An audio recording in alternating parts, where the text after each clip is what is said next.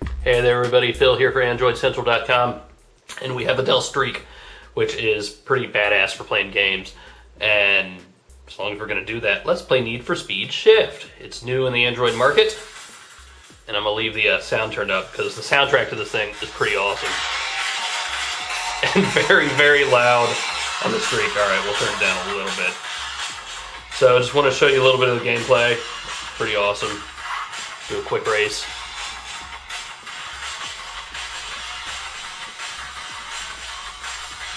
Unfortunately, uh, they don't have a version ready for the Galaxy Tab yet, so you can't run it at full 7 inches, but it's pretty great on a 5 inch screen here.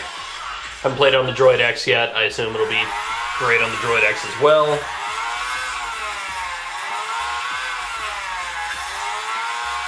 And for you guys who aren't all that great at racing games, really simple gameplay. Just turn left and right, press to brake. But otherwise, you just go all out the whole way.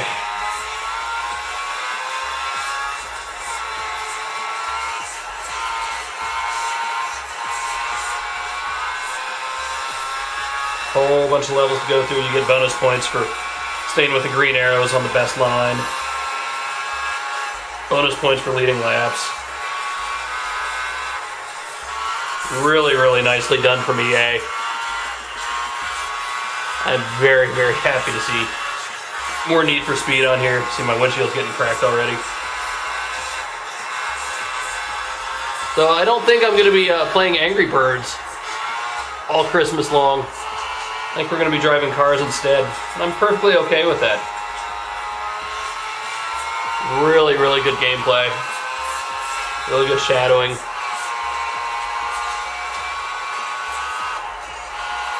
That's it. There's a quick look at Need for Speed Shift. On the Dell Streak, it'll run on most other high-end phones, not the Galaxy Tab yet. Love it. Love it a lot. Uh, let's see. We'll duck back through a couple of these things real quick. Yeah, return the menu. Turn that volume down because that's loud. You get tips throughout the game. Let's see, let's go back. So those quick race, you also have different game modes.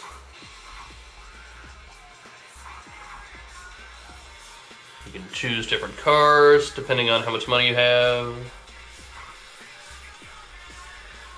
There's Volkswagen Golf GTI. And VC Lancer. So as you go through the game, you'll get more money and you can buy new cars. Kind of standard, we're used to that, right?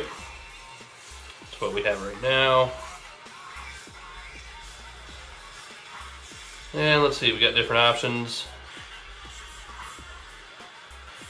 So you can change the controls. I'm on rookie because I suck at this, so you know, basically just left and right steering.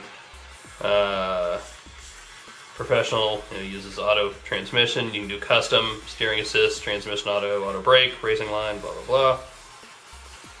But I'm not good, so we'll keep it simple. You can do it miles per hour, kilometers, and this tutorial track that you can go through when you first start. It's not an actual race. Ah, look at that, you can drift. Cool. I'll have to play with that some more. So here's the tutorial track. Real simple, it's just you on the track. No other cars, but it gives you a good feel for how it steers. Obviously it'll be different on every phone just a little bit. Really, really nice in the Dell Streak. I like that a lot. So there you go, guys. Quick look at Need for Speed Shift on Android. See you later.